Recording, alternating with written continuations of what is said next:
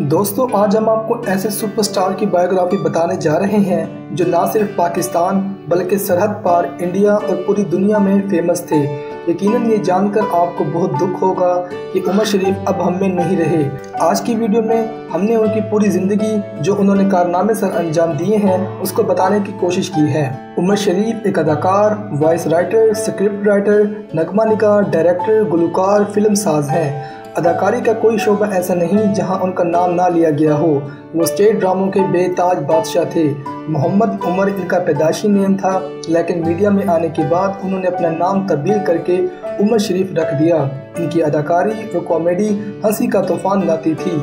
आज भी बहुत से फनकार उसे कॉपी करने की कोशिश तो करते हैं, लेकिन कोई भी उसे कॉमेडी में नहीं हरा सकता। इनका स्टेज ड्रामा बकरा क्रिस्टन है बहुत मशहूर हुआ। पाकिस्तान में शायद ही किसी स्टेट ड्रामे ने इतनी मकबूलियत हासिल की हो।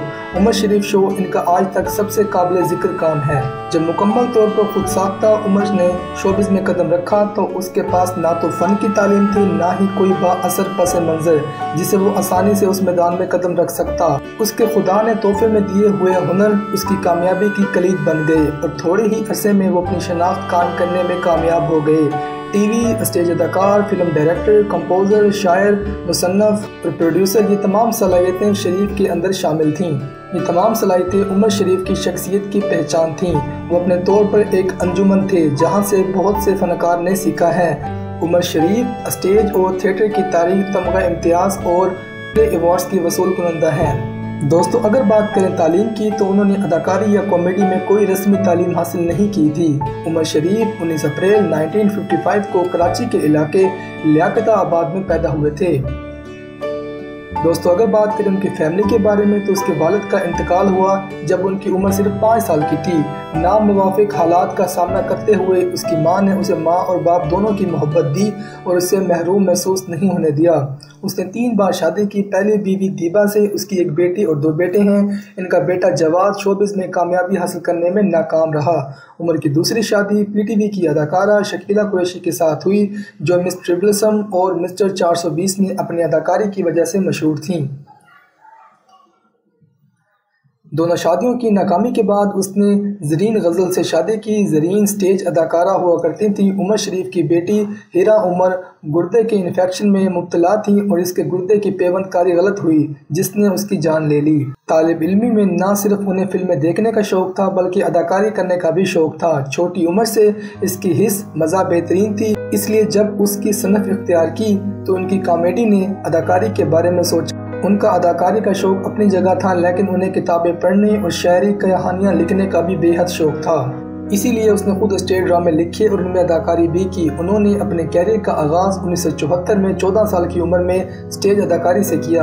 उन्होंने पहली बार 1980 में अपने ड्रामे, ऑडियो कैसेट पर जारी किए। अब अगर बात करें फिल्मोग्राफी के बारे में तो उन्होंने बतौर अदाकार मुसनफ और हदायतकार, उन्होंने एक कामयाब 1920 में फ़िल्म मिस्टर 420 बनाई। इस फ़िल्म में उन्होंने बड़ी महारत से तीन मुख्तलिफ़ किरदार अदा किए खास तौर पर एक किरदार जो जंग में रहता है और बंदर जैसी अदात रखता है। इस किरदार को बहुत सराहा गया। इसके बाद फ़िल्म मिस्टर चार्ली भी बहुत कामयाब रही। उन्होंने अपने मौसर मोइन अख्तर के साथ कई ड्रामों में भी काम किया। उमर शरीफ ने मोइन अख्तर के साथ कई ड्रामे लिखे, जो कि फुरकान हैदर की हदायतकारी में बहुत मशहूर हुए।